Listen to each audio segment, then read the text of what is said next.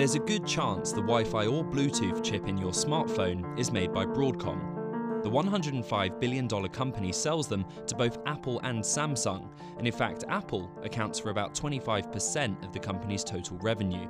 That's why Broadcom is seen as a barometer for the health of the smartphone industry. Last quarter, Broadcom's wireless business performed better than expected, with $1.7 billion of sales.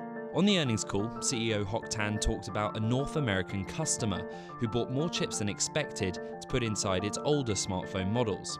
He didn't name the customer, but joined the dots. Even so, sales for Broadcom's wireless business still fell 5% from a year earlier as the global smartphone market continues to slow down. Broadcom shares, the white line, really trailed the Philadelphia Semiconductor Index, the blue line, from July through September of last year. But since November, Broadcom has outperformed the broader SOX index as the company weathered the slowdown in the global smartphone market. Now, there's a new concern facing the industry.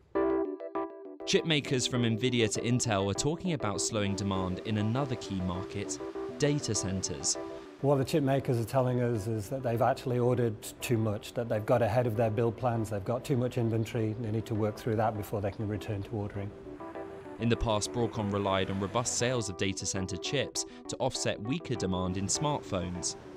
And while the company still expects demand from its cloud customers, analysts are concerned Broadcom will get distracted from its focus on chips. In December, Broadcom purchased software maker CA Technologies for $18 billion.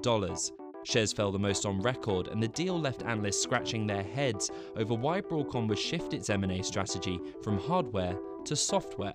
But Bloomberg Intelligence still sees the CA deal being the main driver of sales growth and margins in 2019.